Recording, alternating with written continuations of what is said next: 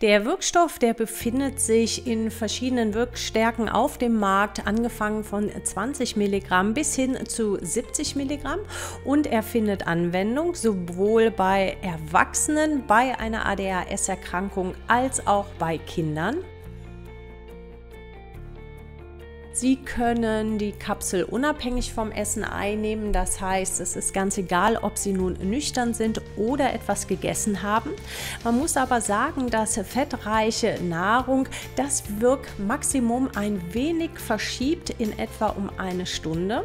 Nichtsdestotrotz ist die Nüchterneinnahme auch möglich und ähm, wenn Kapseln nicht geschluckt werden können, dann kann man diese auch öffnen und den Inhalt ähm, in Wasser reingeben, in Orangensaft oder aber auch in Quark oder Apfelmus. Hier sei daran erinnert, dass der Wirkstoff dann aber auch sehr zeitnah eingenommen werden sollte. Das heißt, diese vorbereitete Speise sollte nicht längere Zeit irgendwo stehen, sondern sollte bestmöglich in den nächsten 10 Minuten zu sich genommen werden. Und wenn Sie nun mal eine Tablette vergessen haben, dann sollten Sie diese nicht am Nachmittag nachnehmen, denn je später Sie das Lisdexamphetamin einnehmen, umso höher ist das Risiko, dass es dann zur Nacht hin zu Schlafproblemen kommt. Einmal im Jahr sollte in der Regel ein Absetzversuch gemacht werden, um einmal zu schauen, ob die Notwendigkeit der Gabe weiterhin äh, bestehen bleibt.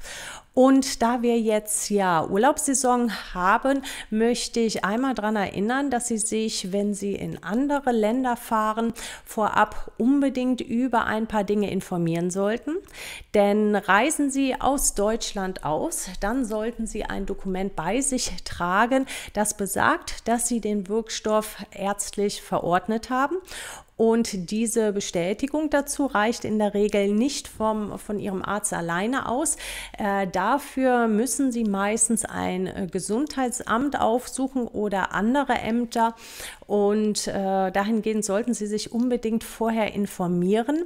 Ich lege Ihnen einen Link hier unten in die Infobox einmal mit rein. Der führt Sie gleich zu der Seite des B-Farms, auf dem Sie nähere Informationen dazu bekommen können. Zwei Dinge sind in dem Fall auch wichtig.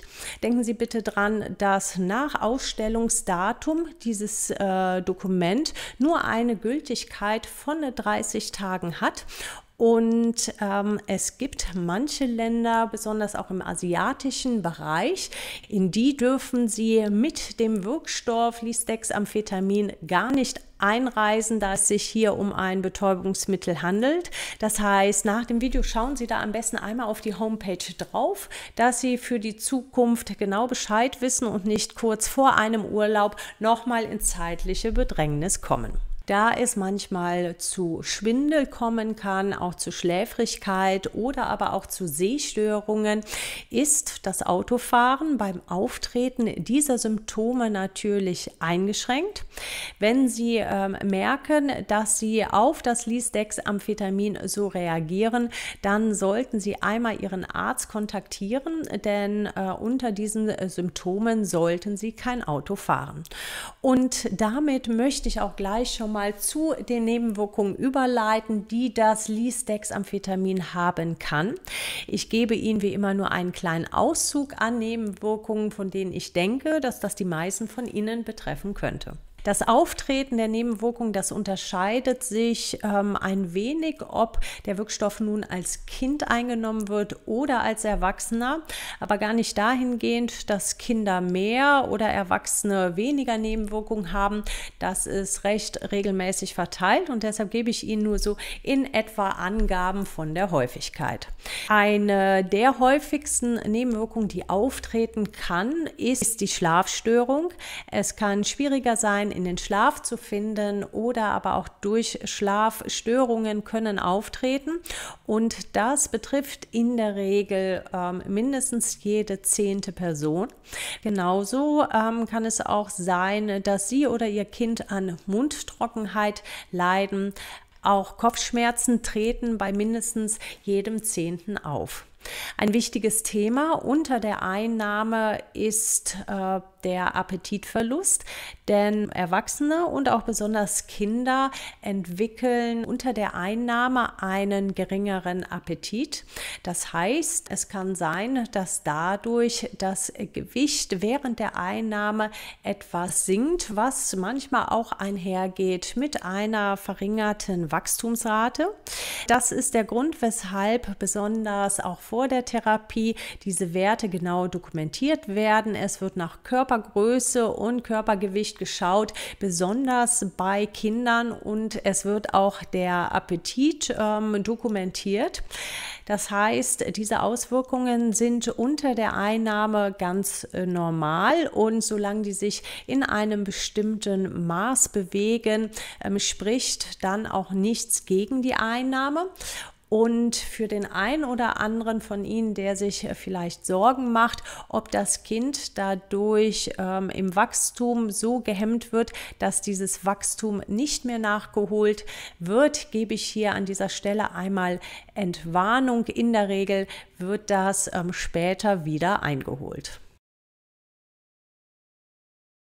Sowohl ähm, Erwachsene als auch Kinder werden vor der Einnahme bezüglich ihres kardiovaskulären Risikos genau überprüft.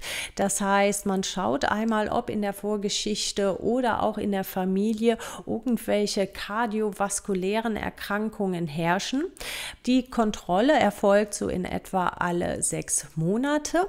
Und wenn Ihnen dazwischen, zwischen den Kontrollen aber mal auffällt, dass Sie ähm, plötzlich plötzlich irgendwie so eine Herzenge verspüren oder es allerschlimmstenfalls zu einem Ohnmachtsanfall kommt. Das Risiko dafür ist verschwindend gering, aber egal, ähm, welche Symptome auftreten, die ihrerseits eventuell Rückschlüsse auf eine Herzerkrankung während der Einnahme geben können, ähm, dann suchen Sie bitte auch sehr zeitnah einen Arzt auf, denn ähm, hier gilt es, das einmal genau zu überprüfen. Auch die Psyche wird immer sehr gut äh, in den Routinekontrollen überprüft, denn in ganz seltenen Fällen kann es unter der Wirkstoffeinnahme zu Veränderungen kommen. Seien Sie einfach ganz sensibel auf äh, bestimmte Symptome, wie zum Beispiel, dass plötzlich irgendwelche Ticks auftreten, sei es körperliche oder sei es verbale.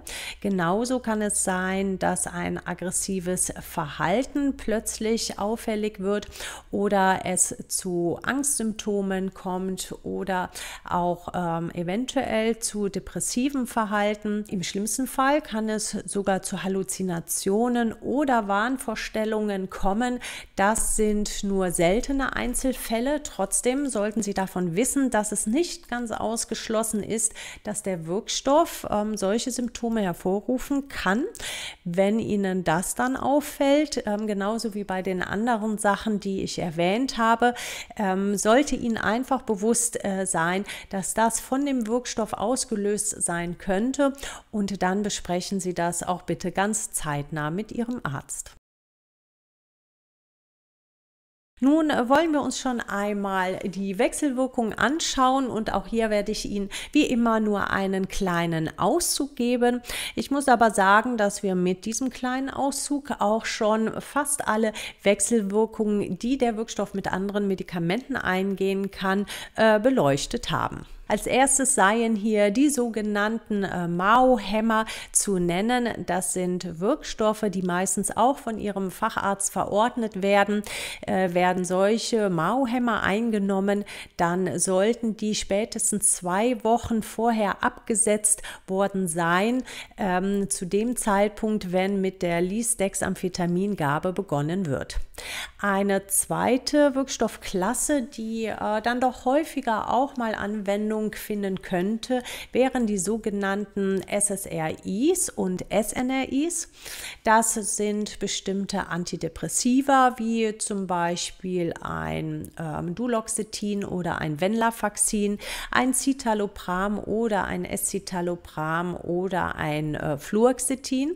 Diese Wirkstoffe, die können einen bestimmten Botenstoff im Körper erhöhen, das Serotonin Und hier kann es zu einer Wechselwirkung kommen, denn das Lisdexamphetamin, das kann seinerseits diesen Botenstoff auch erhöhen. Darauf gehe ich gleich einmal genauer ein.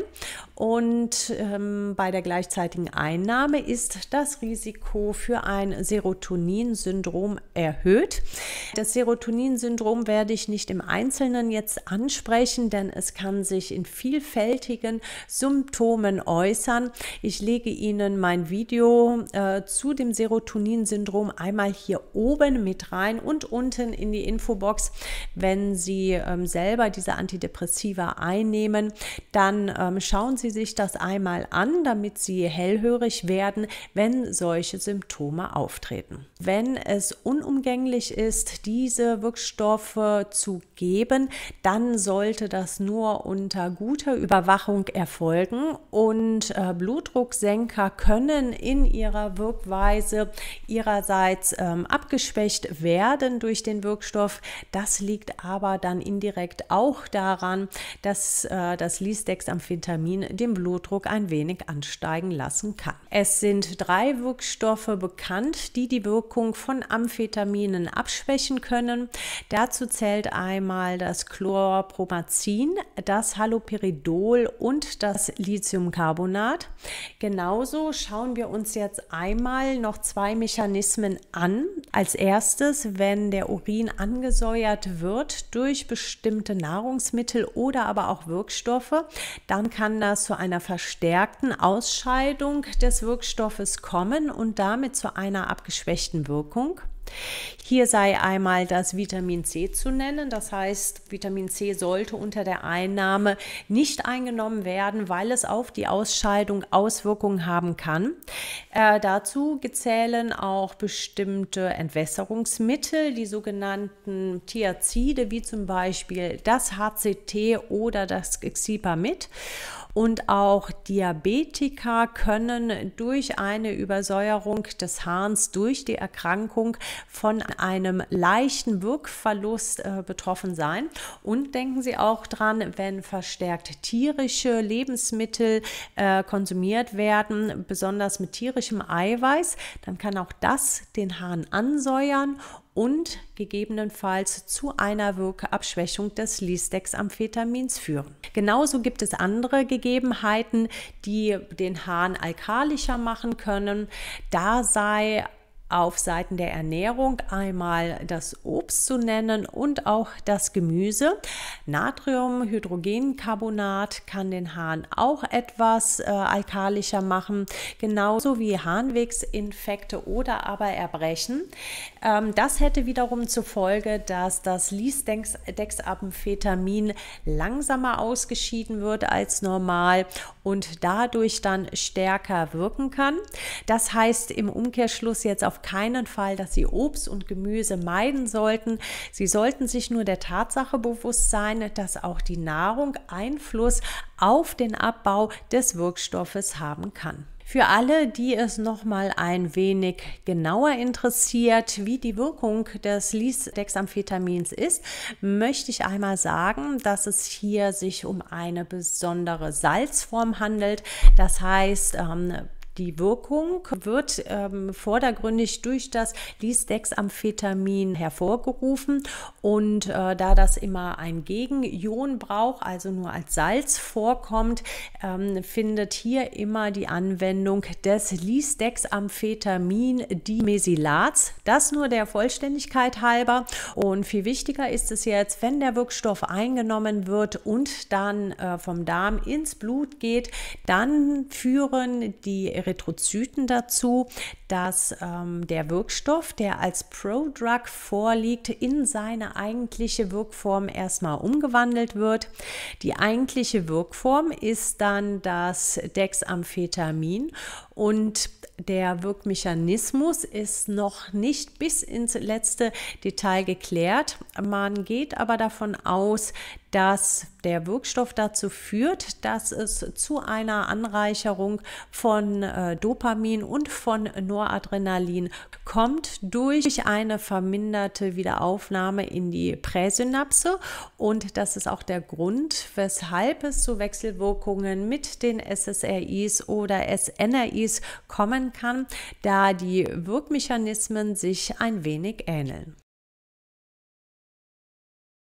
Zum Ende meines Videos möchte ich äh, nochmal darauf hinweisen, dass das Lisdexamphetamin ein Missbrauchspotenzial hat. Dahingehend würden auch Dopingkontrollen oder Steroiduntersuchungen des Urins positiv ausfallen. Das war jetzt schon alles, was Sie aus meiner Sicht als Patient zu Ihrem Wirkstoff wissen sollten. Wenn Ihnen das Video weitergeholfen und gefallen hat, dann freue ich mich wie immer über einen Daumen nach oben. Ich lade Sie auch herzlich dazu ein, meinen Kanal zu abonnieren. Vielen Dank dafür und ansonsten sage ich bis bald.